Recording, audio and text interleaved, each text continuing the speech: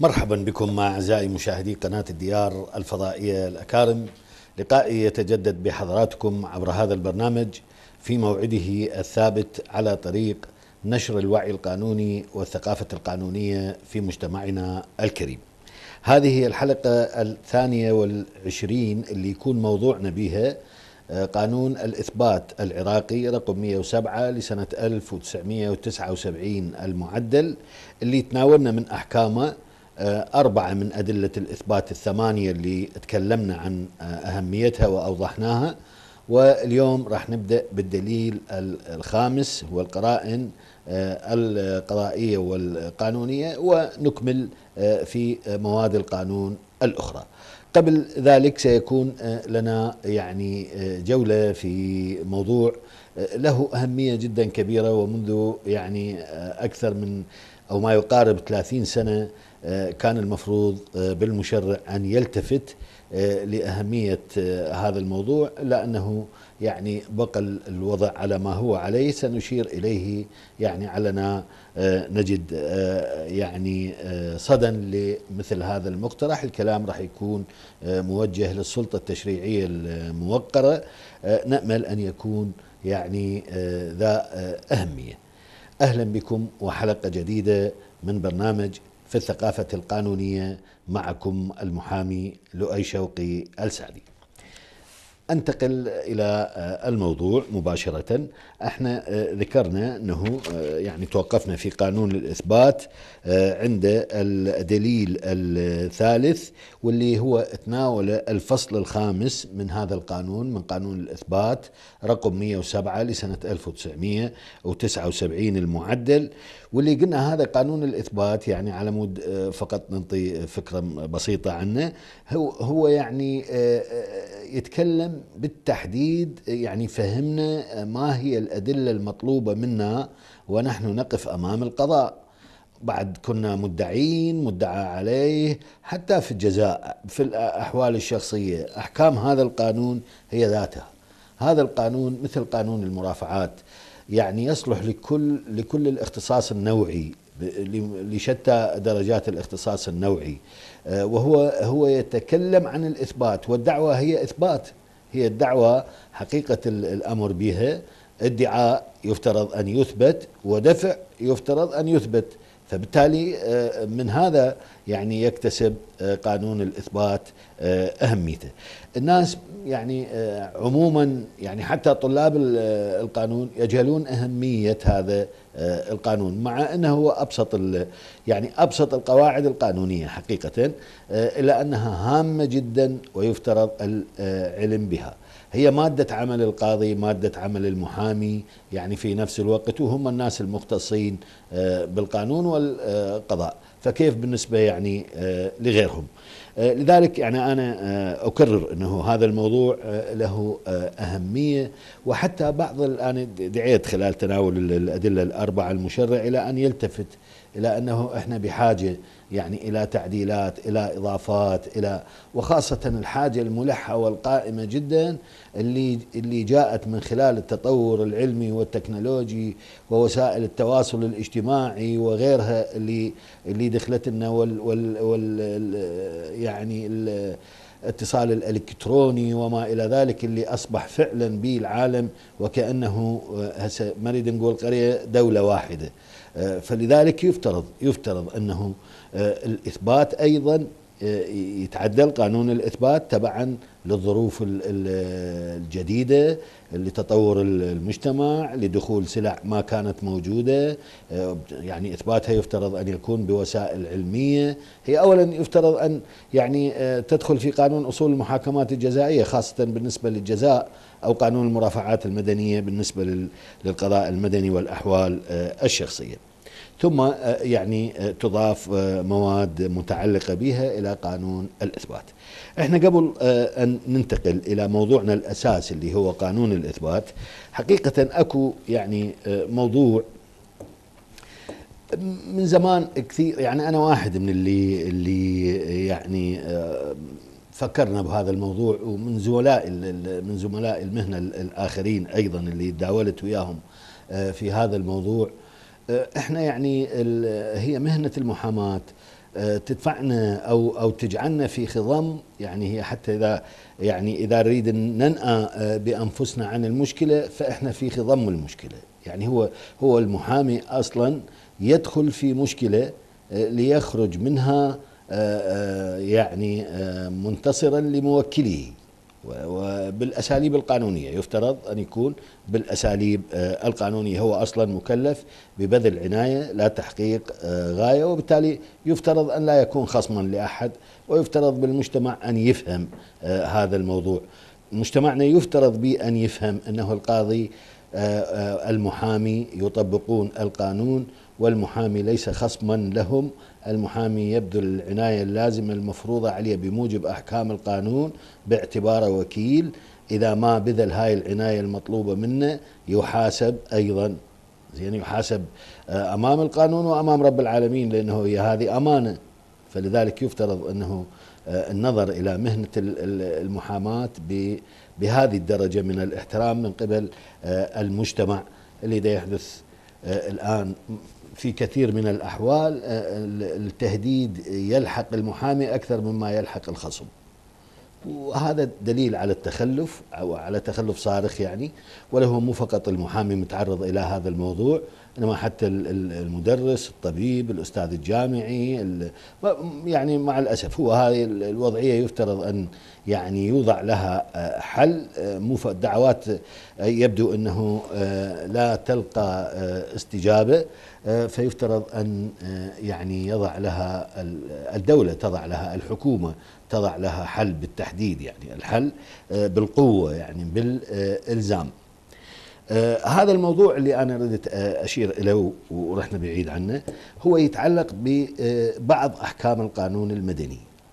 إحنا القانون المدني العراقي رقم 40 لسنة 1951 يعني اللي اللي أشوفه إنه حتى من رجال القانون والقضاء المختصين يعني أشوفهم يشعرون وكأنه هذا القانون يعني آه، استغفر الله هو هو مو بالضبط يعني هيك. بس انه وكأنه غير قابل للتعديل كما هو الكتب السماوية كما هي الكتب السماوية.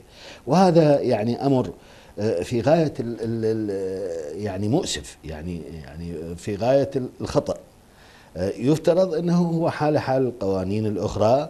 لما نجد آه، يعني عيوب نشير إليها. الناس اللي وضعوا القانون المدني العراقي إحنا نعرفهم مع عباقره فقهاء على رأسهم العلامة السنهوري لكن مع ذلك القانون هذا صدر في عام 51 إحنا الآن في عام 2019 وهذه كافية وهذا الموضوع اللي اللي يعني راح أتناوله حقيقة يعني من من أكثر من 30 سنة تقريبا آه، بدأت الحاجة إلى إلى الكلام فيه. موضوع يتعلق بالمجتمع يتحق يتعلق بحقوق الناس. يعني مو من مواضيع الساعة من مواضيع اللي, اللي اليوم المجتمع مثلا آه، يعني برزت له مشاكل جديدة. هو مو من المشاكل الجديدة هو من المشاكل القديمة التي لا, لا لم تلقى حلا. واليوم باعتبار أنه المجتمع يمر بمشاكل آه، أخرى أصبح أصبح الضرر مضاعف. ويعني آه، بتنا يعني نرى إنه هذا الموضوع صارت له ضحايا ضحايا آه، بالأرواح.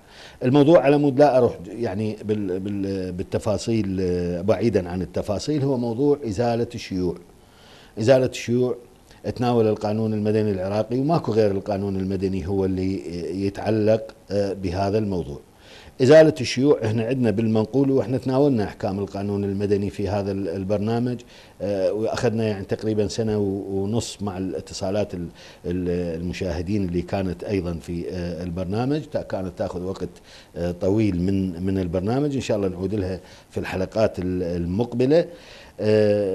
يعني أخذنا وقت جدا طويل في قراءة وتوضيح أحكام هذا القانون المهم القانون اللي هو قانون مهم في أي بلد بالعالم يعني. في كل بلدان العالم القانون المدني هو صاحب الأهمية الأولى.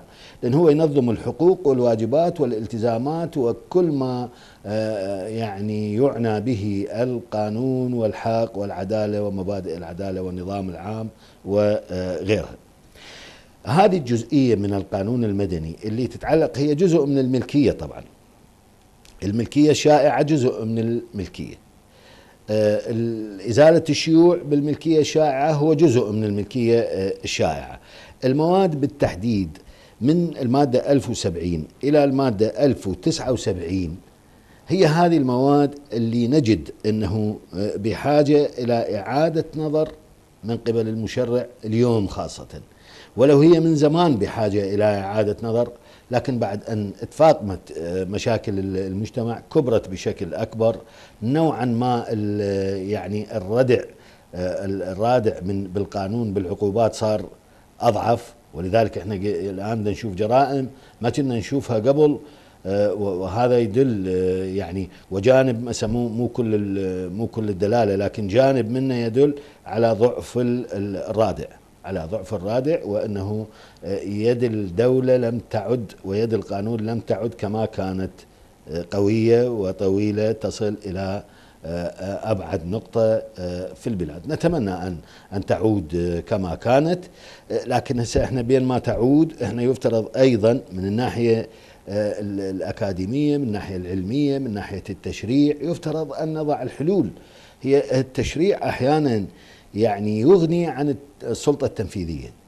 السلطة التشريعية إذا قامت بتشريعات أو تعديلات ممكن أن تغني عن عن خطوات كثيرة السلطة التنفيذية أما ما قامت بها آه، جهلا أو تقاعسا أو يعني لعدم إمكانيتها آه، في ذلك.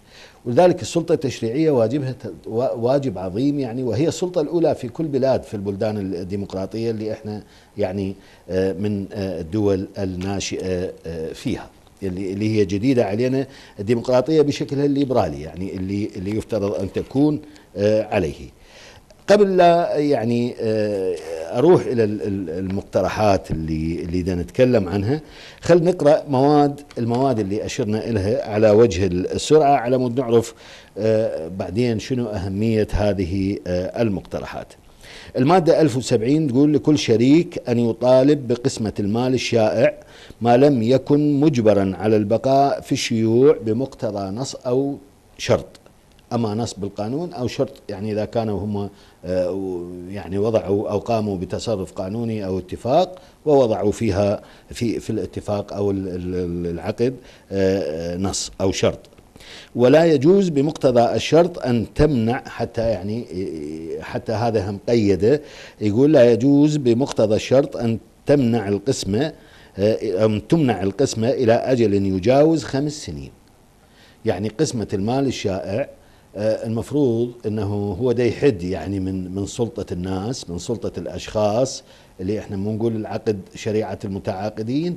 يحد من هذه الشريعة آه، فيجعل أنه حتى لو اتفقوا اتفقوا على أن لا تكون هناك قسمة بالمال الشائع لمدة مثلا عشر سنوات آه، عشرين سنة ثلاثين سنة لا تصح إلا في خمسة. يعني القانون محددها خمسة فقط. فإذا اتفق الشركاء على البقاء في الشيوع مدة أطول أو مدة غير معينة فلا يكون الاتفاق معتبرا إلا لخمسة هذا اللي آه، قلناه. نذهب إلى فاصل ونعود.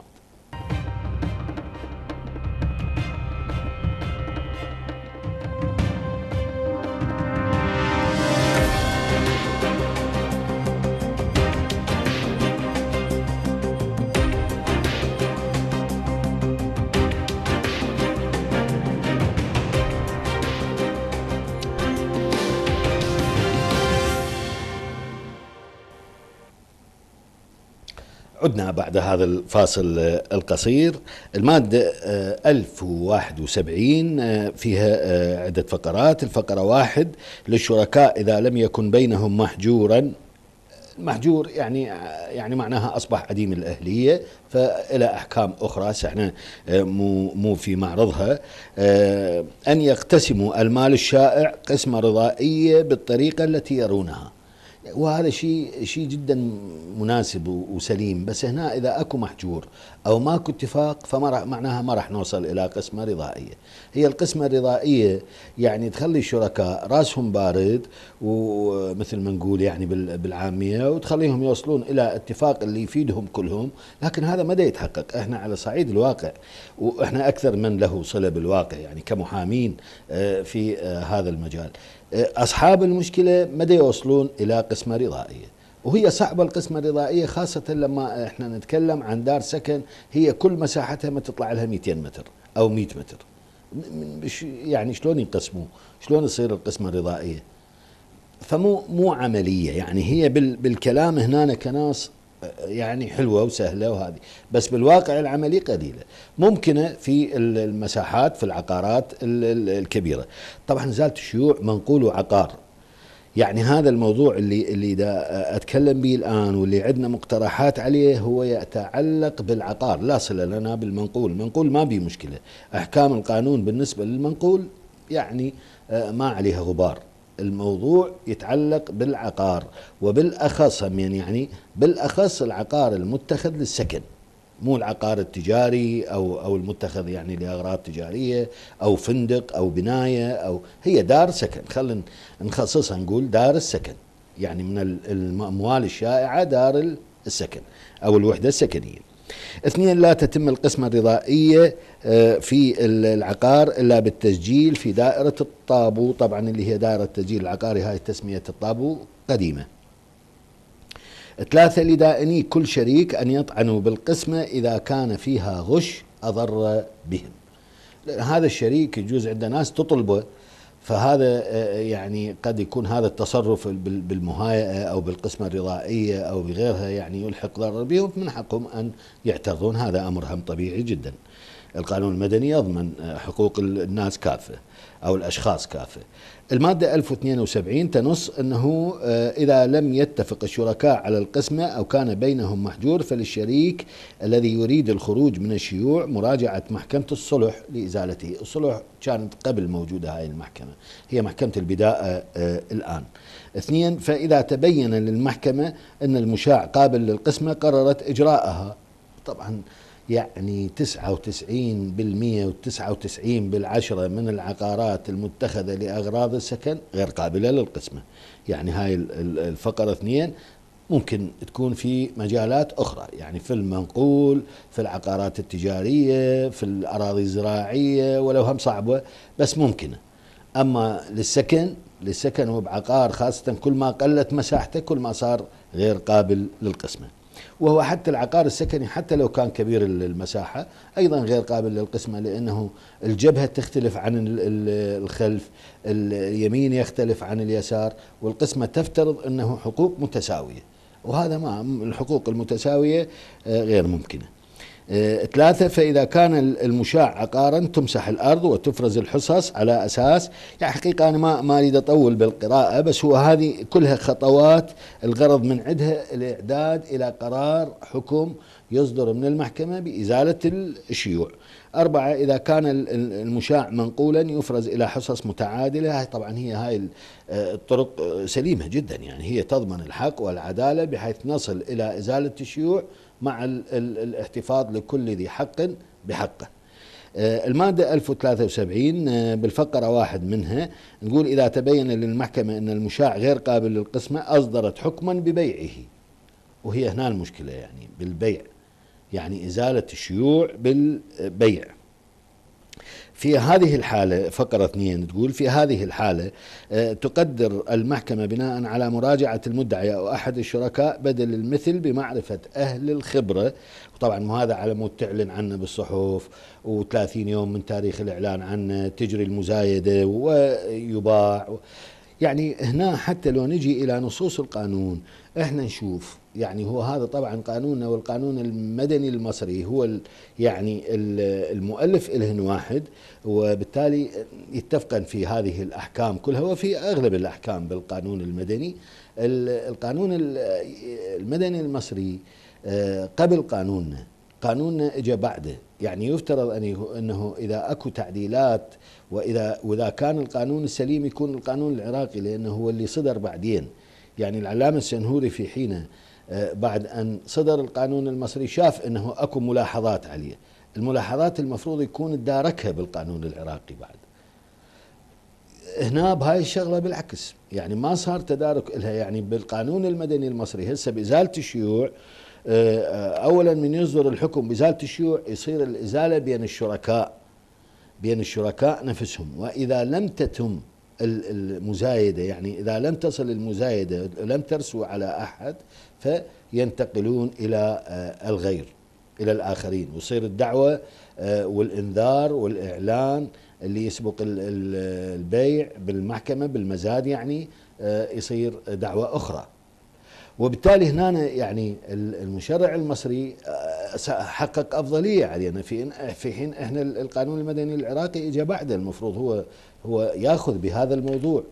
هو موجود هنا بس ما موجود بصورة بصورة يعني مثل ما يقول معلنة واضحة بحيث أنه إحنا الآن يصدر قرار الحكم بإزالة الشيوع من المحكمة يكتسب الدرجة القطعية آه، بعد 45 يوم من اكتساب الدرجة القطعية أي واحد من الشركاء يروح يطلب اتخاذ إجراءات وضع اليد تبدأ المحكمة أو مديرية التنفيذ بإجراءات وضع اليد تكشف على العقار تعلن عنه بالصحف يتحدد موعد للمزايدة بالمزايدة يجون الشركاء وغير الشركاء كلهم يشتركون.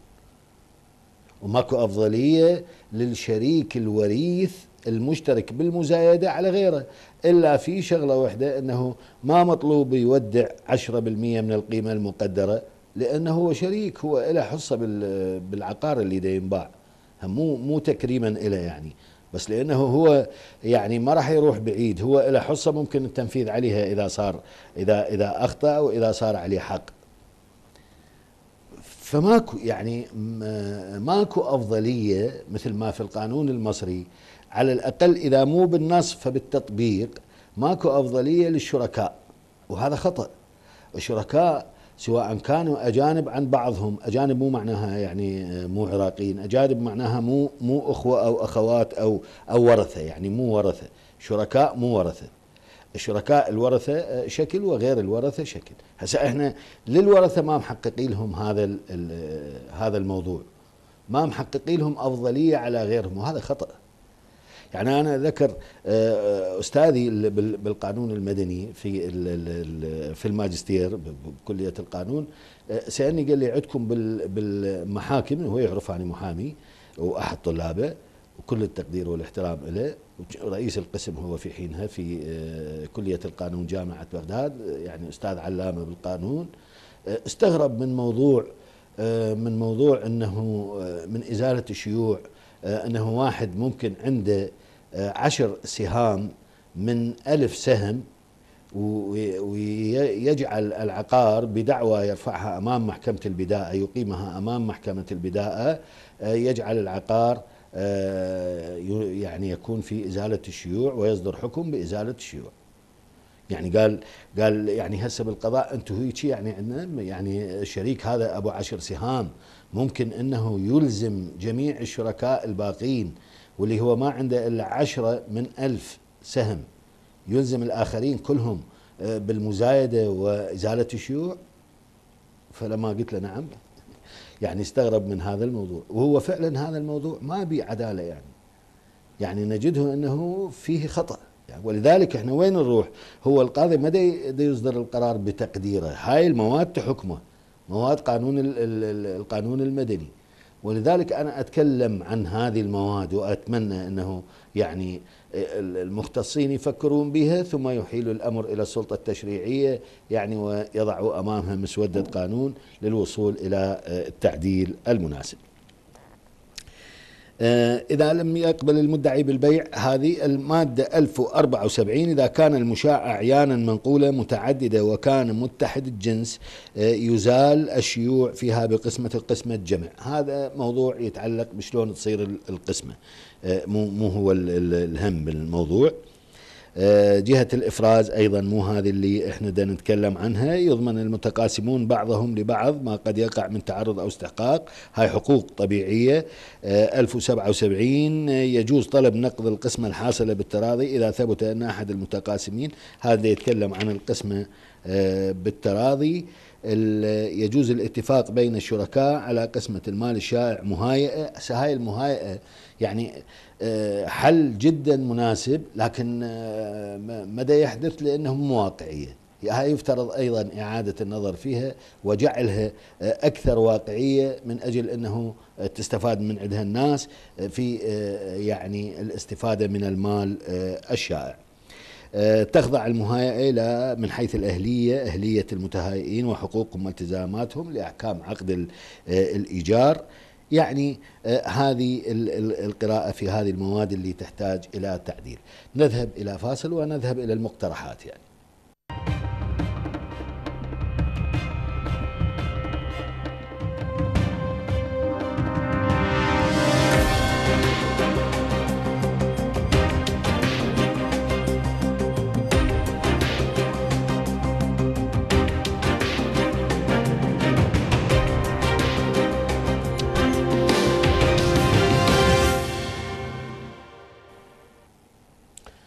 عدنا بعد هذا الفاصل آه، القصير. بعد أن قرأنا آه، هذه المواد ولو على آه، شكل سريع مقترحاتنا يعني تتعلق في ضرورة التعديل بالمواد 1070 71 72 73 78 79 يعني إحنا نعرف يعني المختصين بالقانون يعرفون واللي يعملون به وحتى المتتبعين والقراء له. يعلمون إن الاتجاه اتجاه المشرع العراقي آه، يعني اتجاه واضع قانون القانون المدني العراقي مو المشرع العراقي الحالي إنما هو القانون الموضوع. آه، إنه يعتبر الملكية الشائعة آه، جالبة للخلاف وجالبة للمشاكل ويسعى يسعى من خلال التشريعات إلى أن إنهاء الملكية الشائعه وجعلها آه، يعني آه، مستقلة لكل مالك. يعني وبالتالي إزالة الشيوع. هذا واضح يعني من خلال الأحكام اللي موجودة سواء هذه اللي تتكلم عن الإزالة وحتى في الملكية الشائعة أحكام الملكية الشائعة آه، يعني أيضا واضح الأمر إنه المشرع يعتبر الملكية الشائعه ملكية جالبه للخلاف يهدف إلى تصفيتها. بطريق الإزالة بطريق القسمة القسمة. فإذا لم تكن القسمة ممكنة فبإزالة الشيوع بيعا فبالبيع. وهسه هي إذا بالقسمة يعني هم سهلة هم ما بها أضرار. بس بالبيع بالبيع مو كل الأطراف راح يكونون يعني آه مرتاحين بالبيع. ولا كل الأطراف راح يكون يكونون مستفيدين. يعني. إذا أكو شخص مستفيد فهو ما مستفيد يعني. لو تجي للواقع ما مستفيد بالدرجة المطلوبة لكنه مستفيد أكثر من آه، من غيره. والقانون ما أعرف ليش عنده هيك اتجاه يعني. ليش الملكية الشائعه آه، ما محبذة ويحاول القانون تصفيتها؟ هي الملكية الشائعه يعني. إذا نجي للحقيقة هي تجمع المالكين يعني. ملكية آه، خلينا نقول جمعية. يعني في الدول الاشتراكية أصلا الملكية العامة هي ملك, ملك الكل. هسه إحنا ما نريد نروح للاشتراكية وال والراسماليه وغيرها. ما ما لنا علاقة هذا قانون آه، مدني. بس هنا بالملكية خاصة ملكية الورثة الشركاء الورثة. ليش ما نحافظ عليها؟ يعني ليش القانون ما يحافظ عليها؟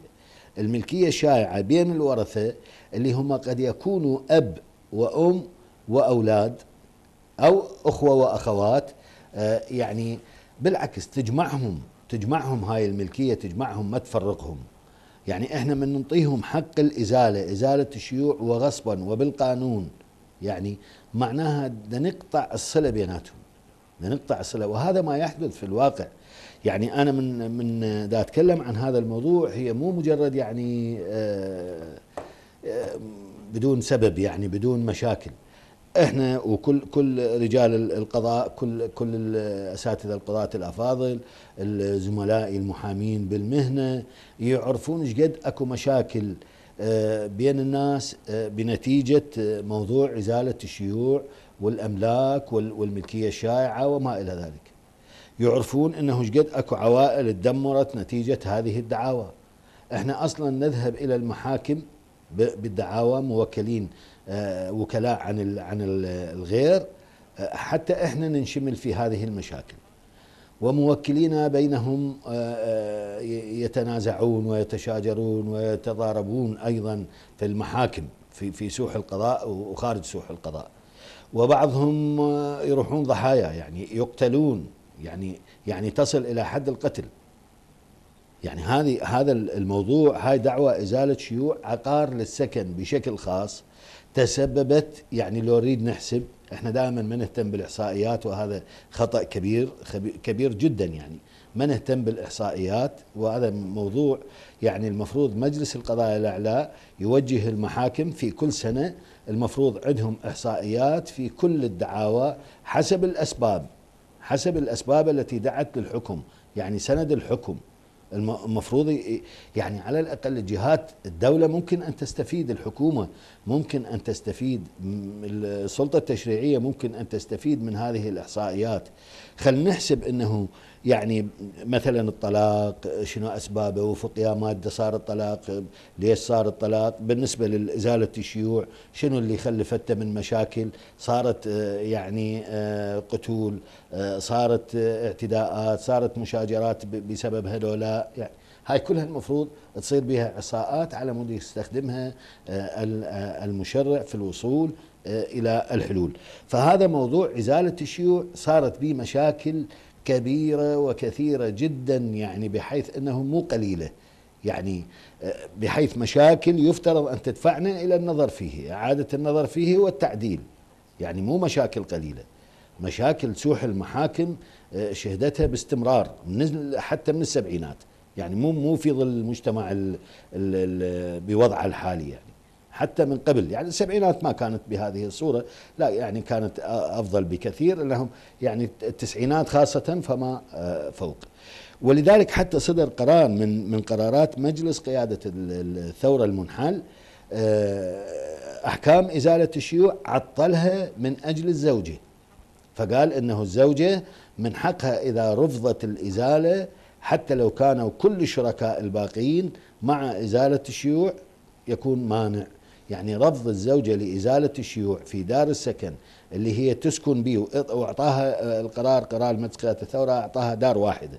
إذا كان المورث آه، عدة دور له فأعطاها الحق في منع الإزالة في دار واحدة. زين؟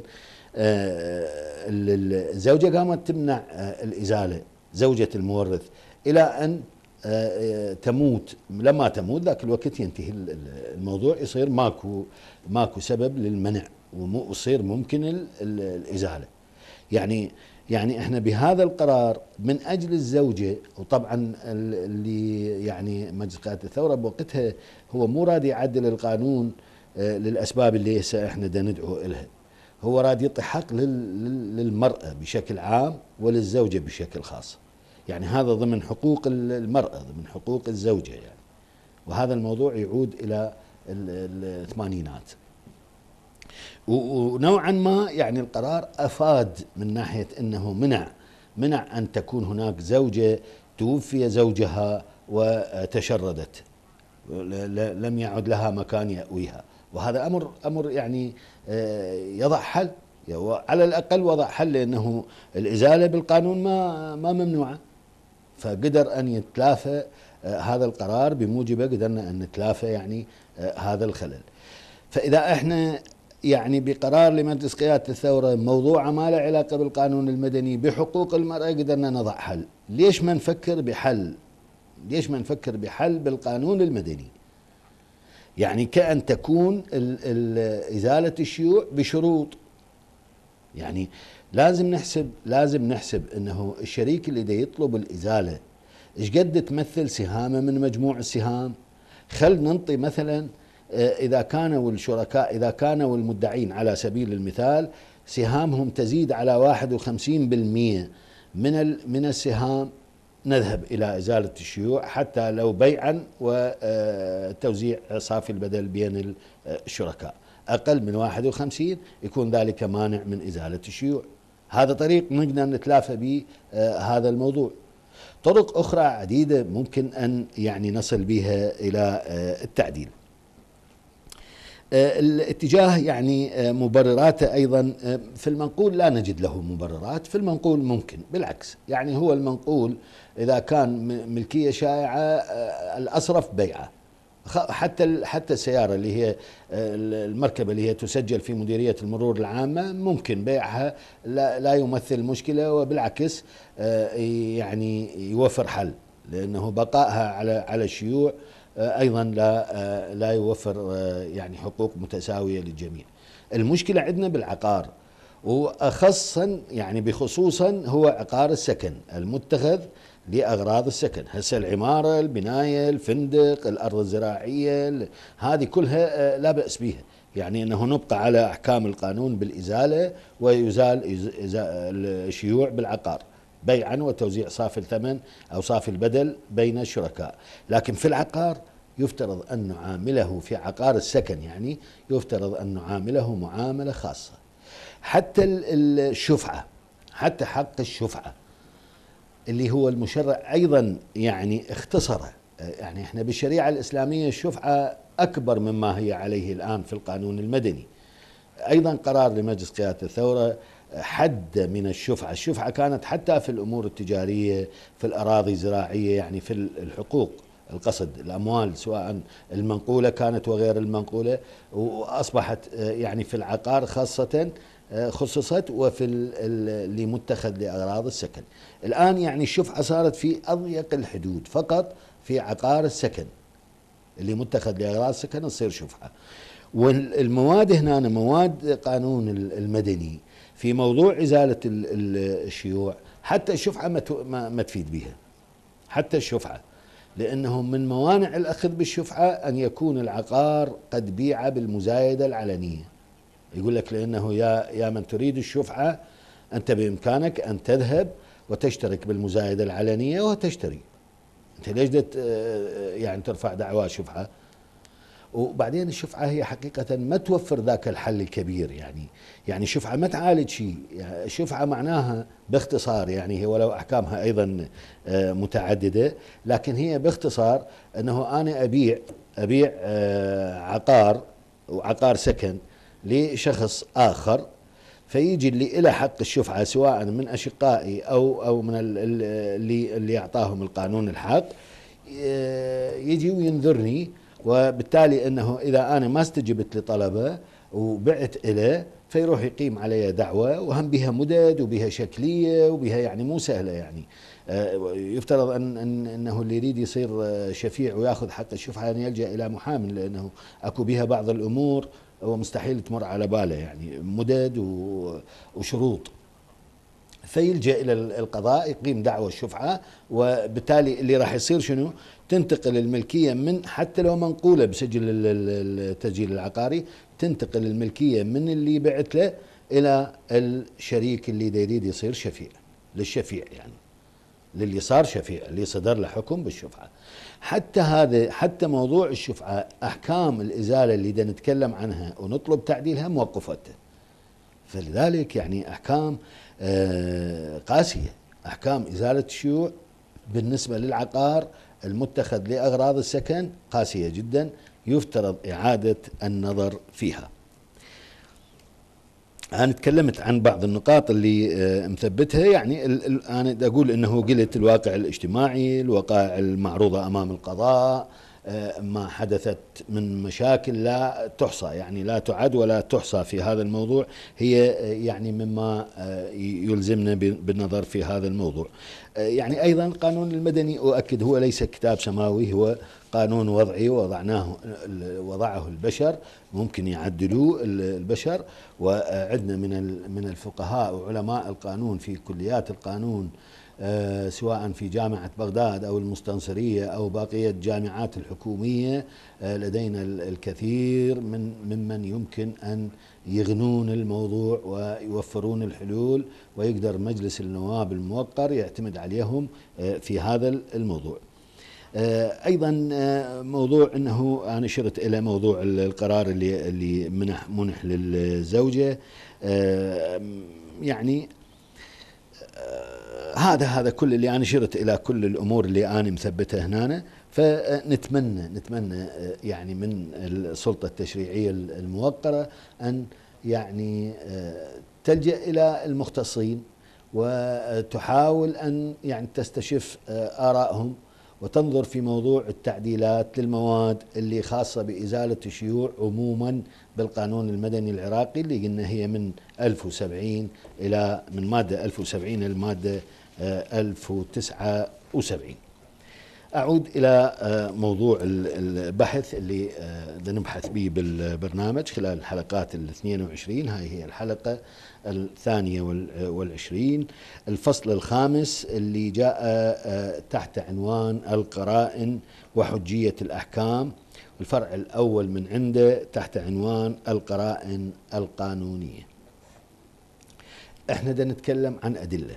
معناها القرائن القانونية ممكن أن تصلح دليل. هسه بدنا نقول القرائن القانونية إحنا بدنا نتكلم عن أدلة إثبات. إذا معناها أنه المشرع يعتبر القرينة القانونية دليل للإثبات. بعد هي يعني هي لوحدها أكو دليل آخر يعززها هذا هذا القاضي هو اللي قرره، القاضي المعروض أمام النزاع هو اللي قرره صح وفقا لأحكام القانون بس عنده سلطة آه، تقديرية أيضا.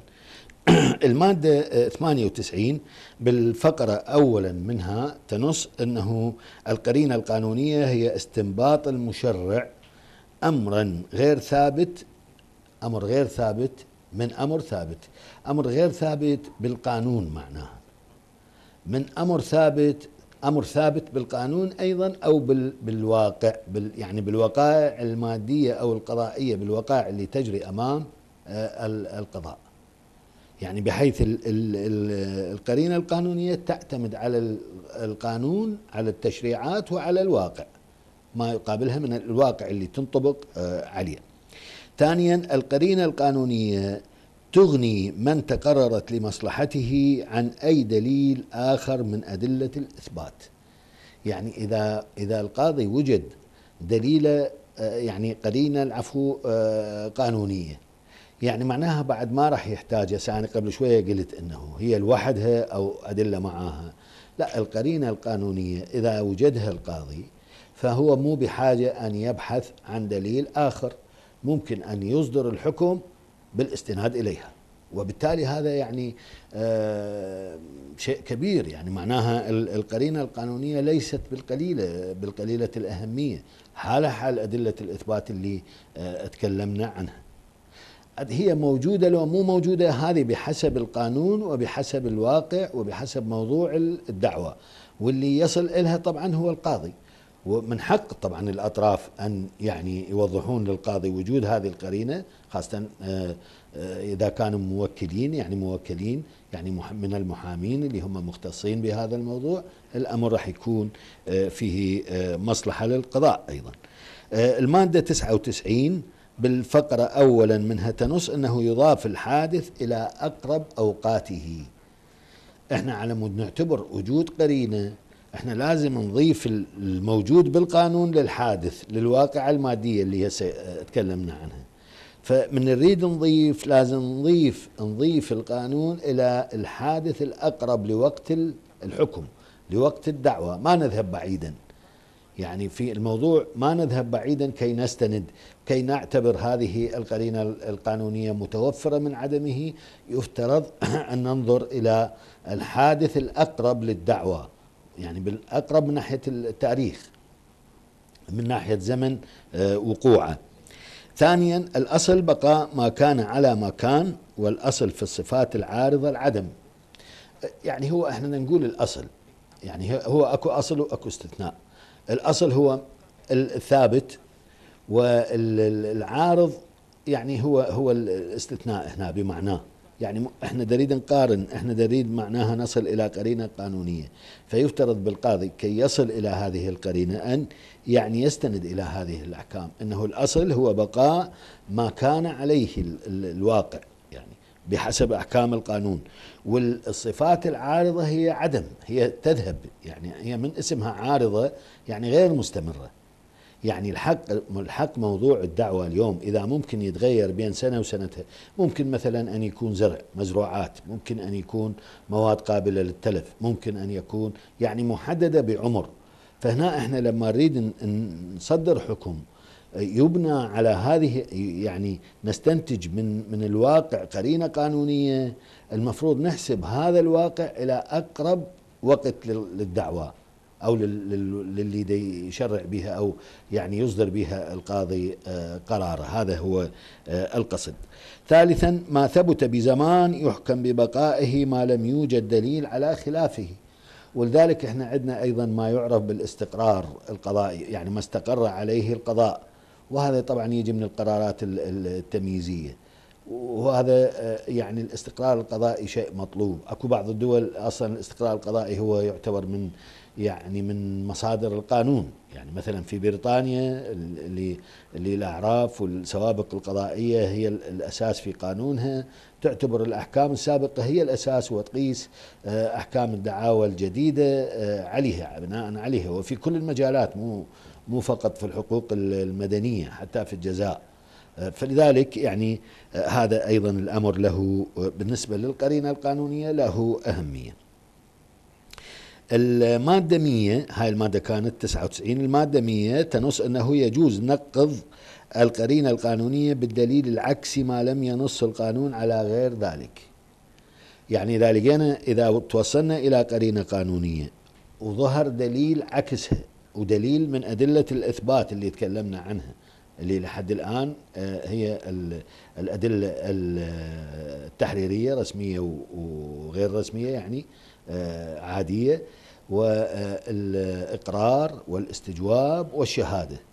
إذا واحد من ذني الأدلة عكس القرينة متوفر وهو عكس القرينة القانونية فمعناها هنا ما إلها أهمية. آخر مادة بهذا الفصل هي المادة 101 اللي تقول يجوز قبول الإقرار واليمين في نقض القرينة القانونية التي لا تقبل إثبات العكس في الأمور التي لا تتعلق بالنظام العام. لأن ذن الإقرار يعني واليمين هن أيضا من أدلة الإثبات. ممكن أن يدحضن القرينة القانونية إلا فيما يتعلق بالنظام العام. إحنا آه توقفنا عند المادة 101 آه الحلقة المقبلة إن شاء الله يعني آه نعاود البحث بالقرائن القضائية. حتى ألقاكم الأسبوع المقبل أترككم بحفظ الله ورعايته. تقبلوا تحياتي وتحيات كادر البرنامج.